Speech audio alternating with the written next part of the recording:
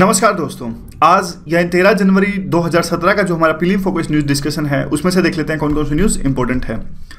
देखिए, सबसे पहले जो न्यूज़ रिलेटेड है, वो सीएपीएफ से रिलेटेड है। सीएपीएफ में जो असिस्टेंट कमांडर होते हैं, उसका सिलेक्शन आपने देखा होगा यूपीएससी करती है, संघ लोक सेवा आयोग। तो देखिए, इनका सी की जो फोर्सेज होती है, कई बार इनका आरोप रहता है कि जिस प्रकार की सुविधाएँ या आर्मी पर्सनल को दी जाती हैं, उस प्रकार की सुविधाएँ हमें नहीं दी जाती, हमारे साथ भेदभाव किया जाता है। और कई बार इनका यह भी आरोप रहता है कि जो हमारा हेड होता है सीआरपीएफ फोर्सेज का जो हेड होता है, वो आईपीएस होता है ऑल इंडिया सर्विस से होता है, और उनके बीच का किसी पर्सन को हेड पे तौर पर नहीं चुना जाता सीनियरिटी के हिसाब से। कई बार ये भी कहते हैं कि देखिए, हमें नक्सल प्रभावित क्षेत्रों में जैसे सीआरपीएफ का एग्जांपल दिया जाता है कि स्टेट पुलिस के साथ में मिलकर लड़ना पड़ता है नक्सल से तो स्टेट पुलिस हमारे साथ अच्छे से कोऑर्डिनेट नहीं करती और इस तरह से हमारी काफ़ी कैजुअलिटीज़ होती हैं। तो अभी क्या है, देखिए, अभी यही है पूरे कि गवर्नमेंट की वजह से इनको अलाउंसेज नहीं मिल पा रहे हैं। तो इस इस तरह की चीज़ें इंपॉर्टेंट नहीं है। आपको ये पता होना चाहिए कि सीआरपीएफ में कौन कौन सी फोर्सेज आती हैं और कौन सी मिनिस्ट्री के अंदर आती हैं? तो सबसे पहले तो याद रखिएगा, देखिए मिनिस्ट्री ऑफ़ होम अफेयर के अंदर आती हैं। जैसे आर्मी मिनिस्ट्री ऑफ़ डिफेंस के अंदर आती हैं और सी मिनिस्ट्री ऑफ़ होम अफेयर को रिपोर्ट करती हैं। तो ये याद रखिएगा। कौन कौन सी इसके अंदर आती हैं? देखिए बीएसएफ इसके अंदर है सीआरपीएफ सीआईएस आपने देखा होगा कि जो इंडस्ट्रियल कॉम्प्लेक्सेस की सुरक्षा करती है, जैसे कि सेल पीएसयूज जो होते हैं, और सीआरपीएफ को तो कहीं भी यूज़ कर सकते हैं, जैसे इलेक्शंस में या फिर कहीं भी। बीएसएफ मेनली बॉर्डर्स पे पाकिस्तान और बांग्लादेश के बॉर्डर में। तो इसी तरह से ये चाइना बॉर्डर पे हाई टी तो ये सारा आपको थोड़ा थोड़ा पता होना चाहिए इसके बारे में। एक दूसरी भी फोर्सेज हैं जिसको कहते हैं पैरामिलिट्री फोर्सेज तो कोई आपसे पूछ ले कि सीएपीएफ के बीच में और पैरामिलिट्री फोर्सेज के बीच में, यानी सेंट्र जो पार्लियामेंट्री फोर्सेज हैं उनके बीच में और जो सी हैं सेंट्रल आर्म्ड जो ये फोर्सेज हमने अभी डिस्कस करी सेंट्रल आर्म्ड पुलिस फोर्स इन दोनों के बीच में डिफरेंस है क्या? तो देखिए, ये तो किसी एक्ट में डिफाइन है नहीं कि पैरामिलिट्री फोर्सेज एक्चुअली होती क्या है। लेकिन ये ऐसी फोर्सेज हैं जो वैसे तो देखिए होम मिनिस्ट्री को ही रिपोर्ट करती हैं। लेकिन ये इनसे अलग हैं। सीआरपीएफ बीएसएफ आईटीबीपी सीआईएसएफ इनसे अलग हैं ये। और इसमें दो ही तरह की फोर्सेज आती हैं। एक है आसाम राइफल्स और एक स्पेशल फ्रंटियर फोर्स और जिनकी इन्होंने वो भी दी है, वो तो संख्या तो ज़रूरी है नहीं। ये देखिए, दोनों मिनिस्ट्री ऑफ़ होम अफेयर को रिपोर्ट करती हैं।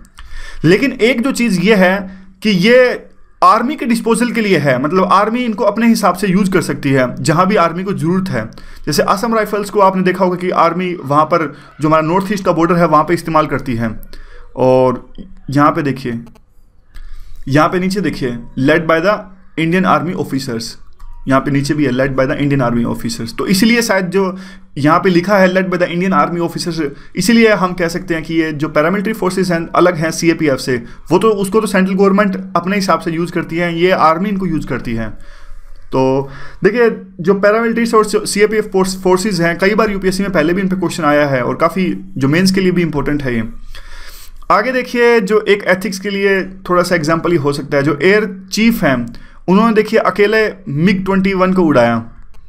तो ये एथिक्स में यूज़ कर सकते हो लेट बाय द एग्ज़ाम्पल और हमें भी कल को ऐसे ही करना है। अगर कोई भी सिविल सर्वेंट हो, वो लेट बाय द एग्ज़ाम्पल है।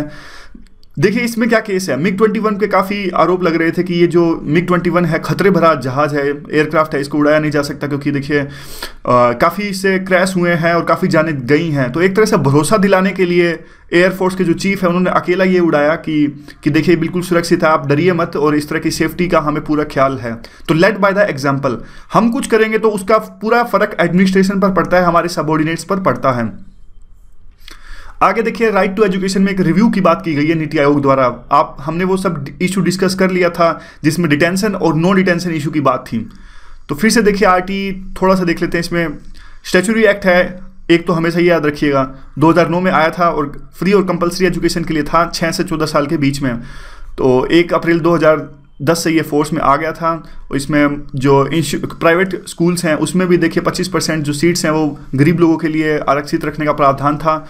और अब ये स्टेट की ज़िम्मेदारी थी इस एक्ट में कि स्टेट इंश्योर करेगा कि सभी जो बच्चे हैं इस एज के बीच में उनको एजुकेशन मिले।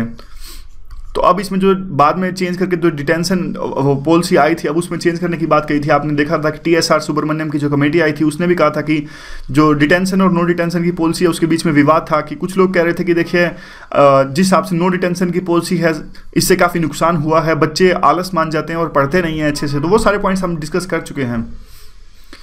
आगे देखिए वही थोड़ा सा विशल ब्लोअर का एक्ट था। विशल ब्लोअर का एक्ट देखिए 2011 में पास हुआ था। एक तरह का मैकेनिज्म ये प्रोवाइड करता है। विशल ब्लोअर होते कौन है? विशल ब्लोअर आपको पता ही होगा, किसी भी गवर्नमेंट डिपार्टमेंट में।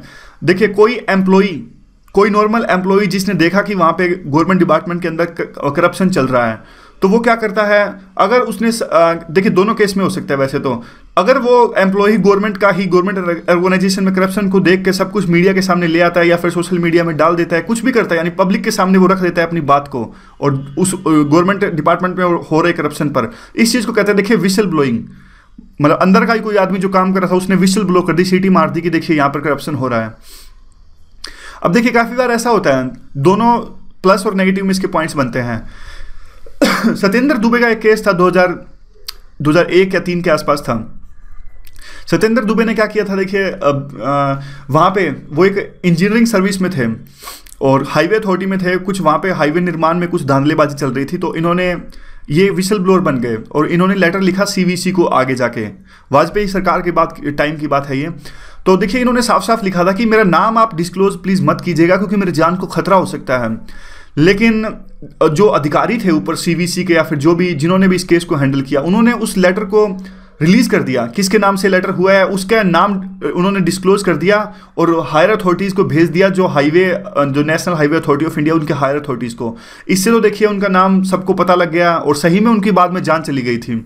तो काफ़ी इस पर हंगामा हुआ था सत्येंद्र दुबे के केस में। ये हम लिखते भी हैं एथिक्स में इनका काफ़ी एग्ज़ाम्पल का यूज़ करते हैं।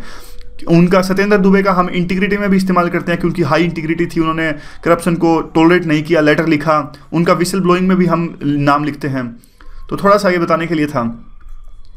जो रॉन्ग डूइंग है देखिए वो फ्रॉड करप्शन कुछ भी हो सकता है मिसमैनेजमेंट हो सकता है रिसोर्सेज का। लेकिन अगर कोई किसी तरह की गलत इन्फॉर्मेशन भी देता है डिपार्टमेंट के अंदर की कोई गलत इन्फॉर्मेशन दे देता है तो उस पर भी सजा का प्रावधान है कि दोनों साइड से बैलेंस करने की कोशिश की, गई थी। लेकिन अभी सुप्रीम कोर्ट में ये केस था कि गवर्नमेंट अब इस एक्ट को जो विसल ब्लोइंग एक्ट था दो हज़ार चौदह में आया था ये उसको गवर्नमेंट डाइल्यूट करने की कोशिश कर रही है। आगे तो ये भी हमने काफ़ी बार डिस्कस कर ही चुके हैं। जलीकाटू जलीकाटू देखिए, पोंगल आ गया है तमिलनाडु में और पोंगल के मौके पर जलीकाटू जो खेल है, इसे खेला जाता है। और इसमें जो बुल होता है, उसको गले से लगाया जाता है और तमिलनाडु में इसको खेला जाता है। लेकिन सुप्रीम कोर्ट ने अब इस पर रोक लगा रखी है। तो वहाँ के लोग हैं, वो कहते हैं, कल्चर से ही हमारा रिलेटेड है तो आप प्लीज़ इस पर रोक हटा दीजिए। लेकिन सुप्रीम कोर्ट टच से मस्त नहीं हो रहा है। तो काफ़ी चीज़, काफ़ी जगह पे इसका यूज़ कर सकते हैं और प्रीलिम में भी इसका क्वेश्चन बनता है। इनडायरेक्ट क्वेश्चन आ सकता है कि किस प्रकार से जो रिलेट कीजिए। जलीकाटू, पोंगल, इस तरह से भी वो इनडायरेक्ट क्वेश्चन भी दे सकते हैं। जलीकाटू, तमिलनाडु, कुछ मैच द फॉलोइंग इस तरह का आ सकता है। एक, देखिए, इसमें क्या होता है कि एक टेंपल बुल होता है, उसको ज़्यादा वरीयता दी जाती है और वो हेड होता है सारे बुल्स का और इनाम का भी प्रावधान है। तो ये सारी चीज़ें ज़्यादा इंपॉर्टेंट तो नहीं है। और आगे क्या है? एक एयरटेल पेमेंट बैंक, देखिए, जो हमारा फ़र्स्ट टेलीकॉम प्लेयर एयरटेल है, जिसने पेमेंट बैंक की स्थापना की थी, और जॉइंट वेंचर है एयरटेल के बीच में और कोटक महिंद्रा के बीच में। और ये कह रहे हैं, देखिए, हम सात पॉइंट टू फाइव की परसेंट से हम डिपॉजिट जो इंटरेस्ट रेट्स देंगे डिपॉजिट पे सेविंग अकाउंट के अंदर में। हमारे लिए इंपॉर्टेंट ये है कि पेमेंट बैंक आखिरकार होते क्या है? इस पर क्वेश्चन भी आया था यूपीएससी प्रीलिम 2016 में। देखिए, ये एक तरह की बैंक ही है, और ये कंसेप्ट ईजाद किया गया था आरबीआई के द्वारा में। और इसमें देखिए एक तरह की लिमिट है, एक लाख से ऊपर रुपए कस्टमर नहीं करा सकते। तो एक एक प्रकार से देखिए दूर दराज के लोगों में देखिए जो माइग्रेंट्स होते हैं, उनको सिर्फ़ ये थोड़ी बहुत बैंक की सर्विसेज़ उपलब्ध होती है तो उसके लिए है ये पेमेंट बैंक और ये देखिए लोन भी इशू नहीं कर सकते क्रेडिट कार्ड भी नहीं दे सकते ये। इसी पे क्वेश्चन आया था, क्या वो क्रेडिट कार्ड दे सकते हैं या फिर लेकिन ये लोग एटीएम कार्ड दे सकते हैं डेबिट कार्ड दे सकते हैं ऑनलाइन बैंकिंग भी करवा सकते हैं मोबाइल बैंकिंग भी करवा सकते हैं। और एयरटेल ने अपना फ़र्स्ट लाइव पेमेंट बैंक तो ऐसा क्वेश्चन आ सकता है कि किसने पहला पेमेंट बैंक बनाया? हालाँकि वैसे तो ज़्यादा पहला, ये इस तरह की चीज़ें एसएससी में ज़्यादा पूछी जाती हैं, फिर भी थोड़ा सा, लेकिन यू यूपीएससी कंसेप्ट पे ज़्यादा फोकस करता है, जैसे कि पेमेंट बैंक आखिर है क्या? और एसएससी बैंक जैसे एग्ज़ाम्स फैक्ट्स पे फोकस करते हैं, पहला कौन, दूसरा कौन, तीसरा कौन? मतलब इस तरह का कोई पैटर्न नहीं है मतलब कहने का मतलब ये है कि हमें तो सब कुछ ही करना है, इसलिए तभी तो हमने डिस्कस किया।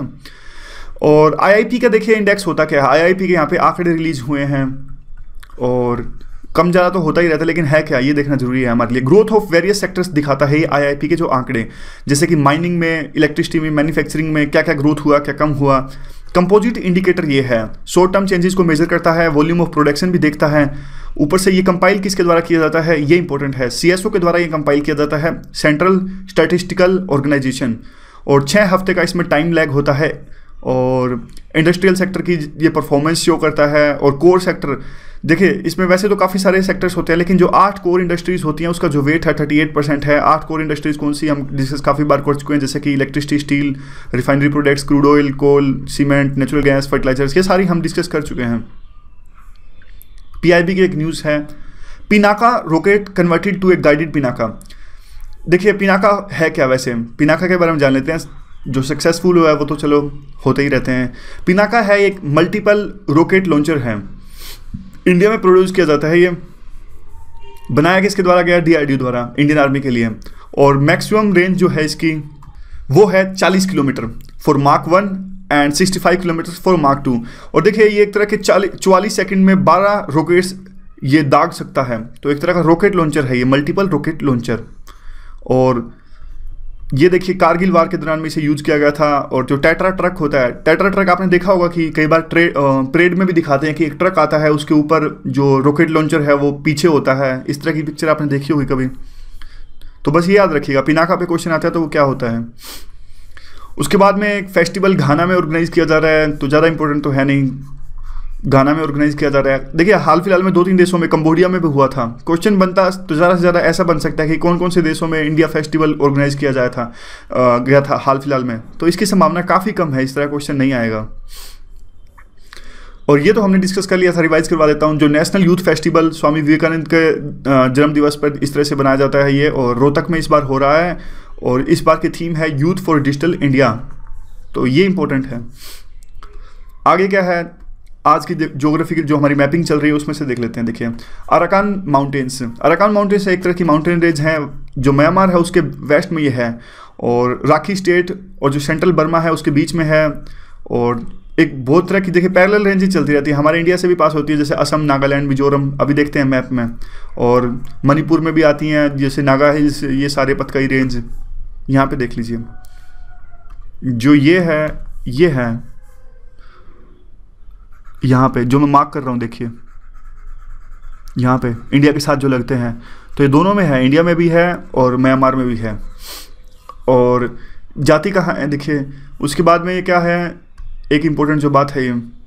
These mountains are submerged into the bay of Bengal Bengal की खाड़ी में सबमर्ज ये हो जाते हैं एक लंबे स्ट्रेच के बाद में और दोबारा से इमर्ज होते हैं अंडमान और निकोबार की फॉर्म में। अंडमान और निकोबार, देखिए अराकान माउंटेन्स का पार्ट है। आपको ये फैक्ट ध्यान में रखना चाहिए।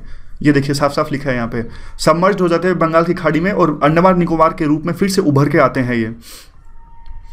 और देखिए, सान हिल्स सान हिल्स तो इनको देखिए हाईलैंड्स भी कह देते हैं, सान प्लेट्यू भी कह देते हैं। ये भी म्यांमार और थाईलैंड के बॉर्डर पे है। यहाँ पे देख लीजिए। जो ये है, जो जिस पे अभी मैं मार्क कर रहा हूँ, ये ऊपर है, सॉरी। ये जो है, ये सान प्लेट्यू है। ये थाईलैंड और म्यांमार के बॉर्डर पर है, यहाँ पे। ठीक है? और आगे क्या है? एक इरावड़ी रिवर भी काफ़ी फ़ेमस है, म्यांमार की पूछी जा सकती है। ये है इरावड़ी रिवर, ये देखिए यहाँ पे। ये म्यांमार से जाती है। दो नदियों के दो नदियाँ जिसकी मेन ट्रिब्यूटरीज हैं, उसके बाद में ये बनती है। कौन सी नदियाँ हैं, उसके नाम देख लेते हैं पहले। ये देखिए। ये सीधी नॉर्थ टू साउथ जाती है।